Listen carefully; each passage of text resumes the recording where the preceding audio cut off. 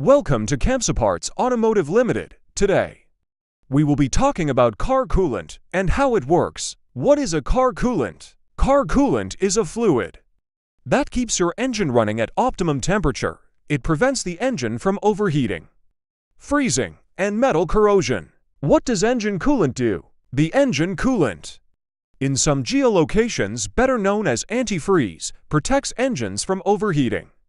But this is not the only task that engine coolant does. Also takes care of the lubrication process, as it greases up the engine's moving parts, preventing the damage of the head gasket, the water pump, the cylinder, piston timing, coolants transfer, and optimize the heat in the engine. And deploy antifreeze protection in order for your vehicle's engine to keep running in optimal condition. Since the internal combustion engine generates energy through the process of burning fuel, portions of this energy in the form of heat inevitably end up being harnessed by the engine and its parts themselves.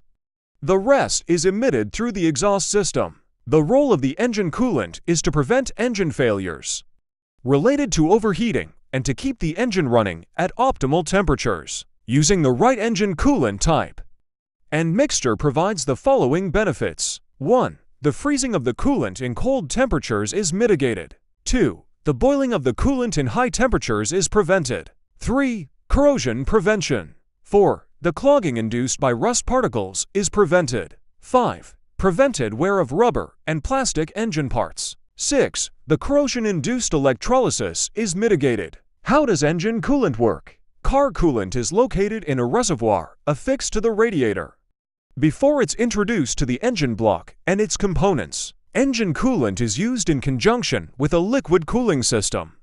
The liquid cooling system is made up of several components. 1. The water pump or coolant pump circulates coolant throughout the system. 2. The radiator conducts heat away from the coolant. 3. Radiator hoses connect the parts of the cooling system. 4. The fan pulls air through the radiator when the vehicle is not moving fast enough to move the air. 5. The thermostat controls the temperature of the coolant. When the engine's running, the coolant continuously circulates through the engine and back through the radiator. Coolant exits from the bottom of the radiator after it's cooled. It's then drawn into the water pump, which pumps it into the engine's block and head, where it absorbs the excess heat to control the engine temperature. The coolant is then returned to the top of the radiator, where it's cooled again. Reasons for using a coolant over water. Why is the coolant so important to engines? Engines consist of a lot of moving parts. These movements cause friction, and friction produces heat. Heat is a major source of energy losses. Energy cannot be created.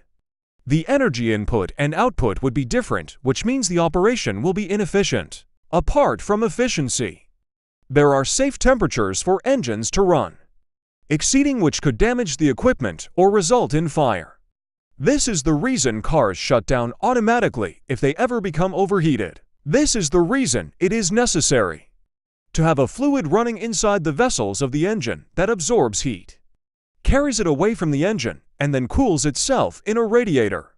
Here are a few reasons why we use coolant fluids in cars and other engines. 1. Impurities, impurities in the tap water, can segment on the bottom surface of the engine or settle down at the bottom causing it to jam or clog. 2. Corrosiveness, water is corrosive. It can easily rust or corrode the internal metal parts of the engine. Rust will reduce the engine's life and destroy it, on the other hand. Coolants have components that are anti-rust and prevent corrosion. They form a protective layer on the surface of the metal which prevents it from reacting with the air and forming oxides. 3. Freezing point. Most coolants have additional antifreeze properties. It requires adding certain elements to the coolant that lower its freezing point. This is beneficial in the areas where temperatures fall below zero. Water freezes at 0 degrees Celsius. And as the temperature falls further, it expands. This expansion can break the vessels where it runs and rupture the hoses of the car's cooling system. This is why you need an anti-freeze coolant which does not freeze well below 0 degrees Celsius. For boiling point, coolant has higher heat capacity than water, which means it will require more heat energy to reach the same temperature which water can reach. with much lesser energy. Components in the coolant also raise its boiling point, making it safer for operation in the engine. Non-boiling fluid can run through the engine vessels more appropriately. 5. The bottom line, if you have been using only water in your radiator, you might want to flush it out and use a coolant instead, depending on the areas you live in and the condition of your engine. You can always mix water with the coolant.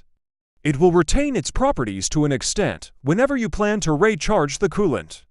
It always better to choose coolants from Kamsi Parts. How is coolant supplied to the engine block? The cooling system of the car is driven by an auxiliary belt attached to the crankshaft pulley. The impeller blades together with the centrifugal force move the cooled water into the water jacket around the engine cylinder. The cooled water once flowed through the water jackets around the engine then flowed through the hoses to the radiator. By this time, the coolant is not cold anymore. The temperature of the water has increased due to heat transfer from the engine to the water. Now, the radiator fins allow the air from the atmosphere to cool the water again. The water flows back to the start of the coolant cycle and starts the process. Types of coolants for cars. Each car is manufactured differently. Hence, each requires a different type of coolant to control the optimal temperature. For the normal functioning of the vehicle, generally, there are three types. These car coolants differ in colors as well. 1. Inorganic Additive Technology IAT. IAT coolant is usually of green color and is used in older cars, which had the cooling system made out of brass, cast iron, and rubber parts. This type of coolant needs to be changed every two years or after 24,000 miles. 2. Organic Acid Technology OAT. OAT coolant comes in orange, yellow, red, or purple colors, it is used commonly in vehicles manufactured by General Motors. OAT needs to be changed after 5 years or after 50,000 miles. 3. Hybrid Organic Acid Technology HOAT. HOAT coolant, as the name suggests, provides the benefits of both OAT and IAT coolants. HOAT coolant usually comes in yellow and orange color. HOAT requires change after 50,000 miles or after 5 years. Unless otherwise specified, some car manufacturers specify change after 10 years or 150,000 miles. Hybrid and electric vehicle cooling systems. Hybrid and electric cars have a separate cooling system. For the battery pack, for such vehicles, you can only use coolants specified by the automakers. Give your car's owner manual. A good read to know what specific requirements the coolant has to meet mentioned by the auto manufacturer. How to know which coolant is right for your car. You cannot decide which coolant to put in your car's water pump on your own. Ask your car's dealership to let you know the coolant for the specific make and model of car. You're driving to guarantee the safety of your engine.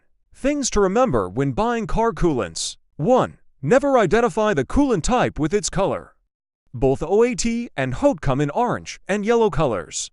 Hence you can misidentify the right coolant for your car. Two out of different cars from the same manufacturer can each have a different type of coolant. 3. When buying a used car, make sure you perform a cooling system flush first before filling the cooling system with the coolant to factory recommended one. This is important as you never know the previous owner might have used another coolant at some point in the life of the vehicle. That will be all for today. To get an original car part anywhere in Nigeria, please visit www.kamsiparts.com.